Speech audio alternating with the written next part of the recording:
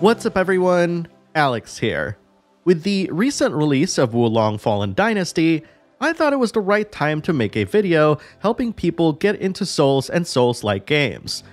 After all, it's one of the most intimidating genres to get into by pure reputation alone.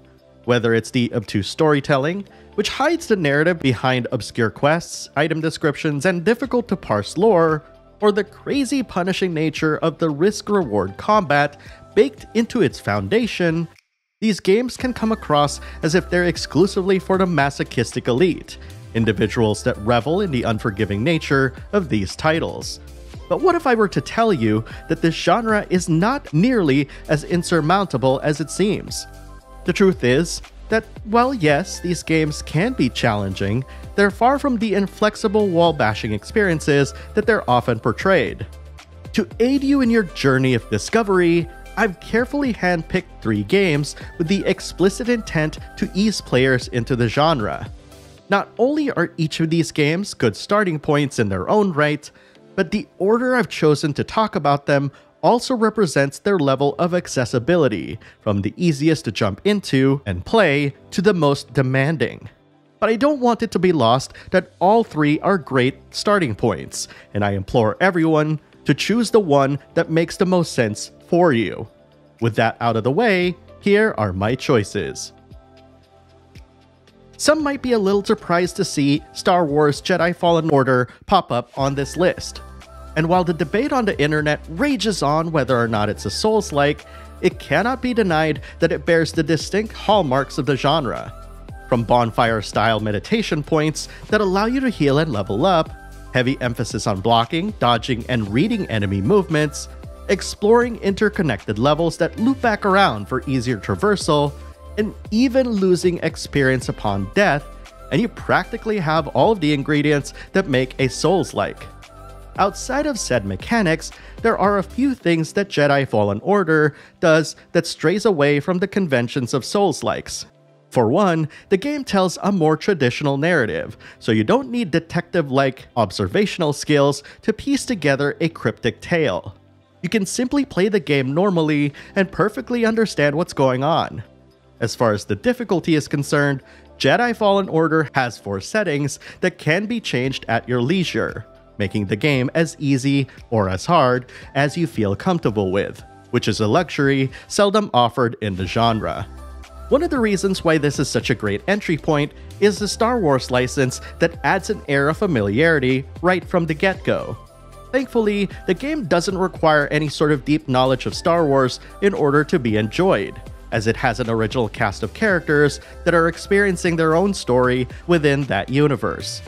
Another reason why this game is a strong entry point is due to the mostly linear upgrade system.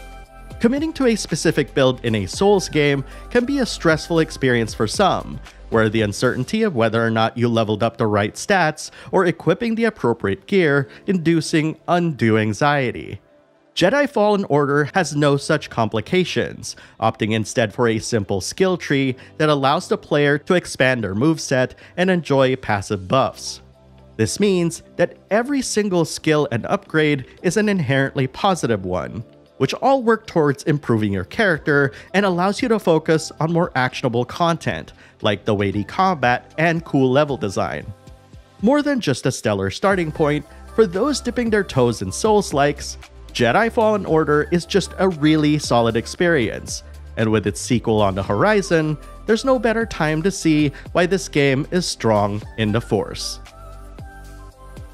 Yep, your eyes aren't deceiving you. That Mimi game where the guy yells about killing chaos is actually a really good Souls-like. As you might expect, the story isn't really the reason to jump into this one, as it's fairly basic and silly. However, the combat and job systems are what make this game a real winner. If you've ever thought to yourself that an action game that utilizes Final Fantasy's classic job system would be a really cool idea, then you're in luck. That's exactly what Stranger of Paradise Final Fantasy Origins offers, and it's just as fun as it sounds. Leveling up all the different jobs individually is a ton of fun, and being able to switch between two of them mid battle adds a lot of versatility to one's playstyle. If you're a more reserved and careful player, you can equip the White Mage for healing and the Dark Knight for high defense. Or if you're the type that loves dishing out massive damage, you can equip the Monk for quick melee damage and a Black Mage for devastating magical spells. These combinations and several others are precisely why the ability to switch between jobs makes the game so accessible, as it accommodates a variety of different playstyles. None of this would matter, however, if the core combat wasn't so good. With a variety of weapons, abilities, and tons of combos to string together, the level of depth here is to be expected from the same team that brought us Ninja Gaiden, Nioh, and the recently released Wo Long Fallen Dynasty. When you look past the memes and get right down to it, Stranger of Paradise is so much more fun than it might seem, showing that killing chaos is actually quite a good time. Believe it or not, the progenitors of the genre itself also made one of the most accessible Souls games that you can play. While definitely the hardest to get into of the three, Elden Ring nonetheless has one defining distinction when compared to other From Software titles its vast open world. Unlike Dark Souls or Sekiro, for example, if you got stuck on an area or boss, while there may be an alternate path or two you can take instead, chances are you just had to figure out how to overcome the obstacle that's in your way. In the case of Elden Ring, however, the world is so huge that if you find yourself struggling with something, you can quite literally jump on your horse, go in the opposite direction, and just do something else entirely. This alone makes the game feel so much more inviting, as it allows players to tackle the game's incredible amount of content at your own pace, while still feeling as if they're seeing new and interesting locations and enemies. This also goes hand in hand with a feeling of constant progression, as the open world means that you rarely, if ever, have to grind. Exploring different locations means new gear and spells to obtain, as well as tons of runes that'll allow you to purchase better stuff, or, more importantly, level up your character. All of this steadily leads you to grow stronger and stronger by the minute, which in turn makes the game a tiny bit more manageable all the while sidestepping the possible fatigue that comes with being stuck on a tough Souls boss with fewer alternatives for progression. This game also happens to be very accommodating for build variety, because if you find that you're not happy with how your character is turning out, you can easily reset your stats and try something entirely different. With all of these quality of life improvements, and Elden Ring itself being a fantastic experience, it really is no surprise why this is the one that broke into the mainstream. And that, my friends, are three games that are perfect for newcomers to Souls games. My hope is that with these entry points into the genre, people can see that these games are really not so tough and can be enjoyed by anyone.